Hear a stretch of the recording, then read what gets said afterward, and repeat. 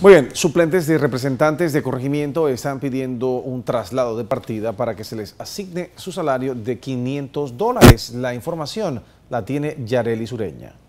Un traslado de partida que podría redundar en unos 7 millones de dólares exigen los 648 representantes de corregimiento para que se les pague el salario de 500 dólares que se acordó en la ley de descentralización y que empezó a regir en enero de este año para que haga el traslado de partida lo más pronto posible de un presupuesto de 22 mil millones de dólares que cuenta el Estado 2 millones y medio que solamente tiene que transferir prácticamente no es ni el 0.8% del presupuesto nacional del Estado. Los suplentes de representantes alegan que ya han acudido a todas las instancias, incluso hasta el propio presidente Juan Carlos Varela, en búsqueda de que se cumpla lo establecido piden que al igual que los diputados suplentes se les reconozca un salario. Sinceramente no tenemos salario, es que no tenemos salario, no tenemos gasto de movilización, no tenemos nada, solamente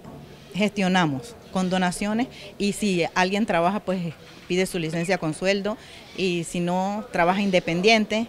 de, de una u otra forma pues vemos cómo gestionamos para,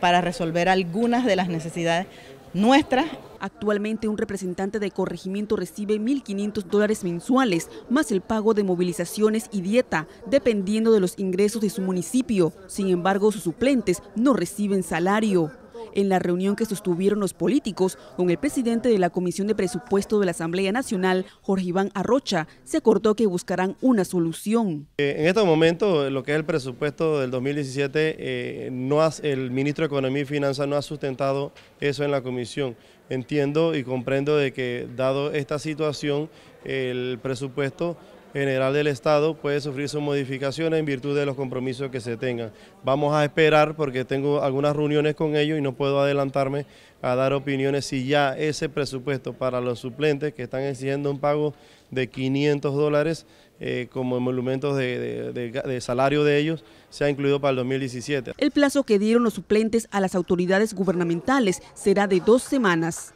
Yarelis Ureña Navarro, Next Noticias.